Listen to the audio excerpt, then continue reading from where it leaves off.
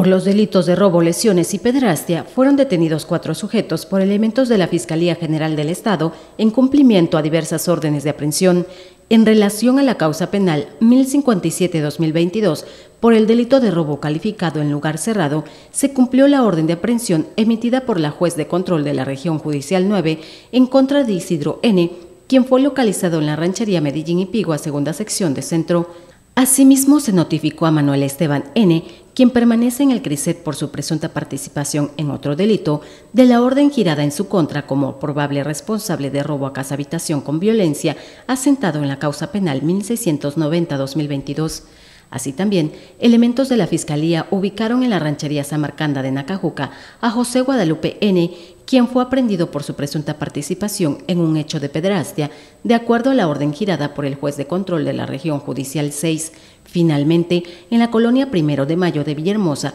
la Policía de Investigación detuvo a Rigoberto N., en base a la causa penal 1841-2021 por el delito de lesiones calificadas cometido en agravio de un sujeto.